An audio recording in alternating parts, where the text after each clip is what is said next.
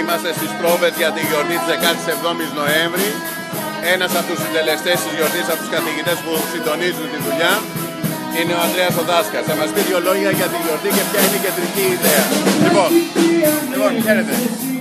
Είναι ουσιαστικά η πρώτη μας συνολική πρόβα. Ε, πρόκειται να ανεβάσουν τα παιδιά ένα αλληγορικό παραμύθι που σχετίζεται με τις ε, πατερίτσες και τα δεκανίκια που χρειαζόμαστε, που χρειάστηκαν κάποτε αυτοί οι οποίοι έριξαν τη Χούντα είχαν συνηθίσει σε αυτά και μετά πλέον δεν μπορούσαν να τα αποχωριστούν.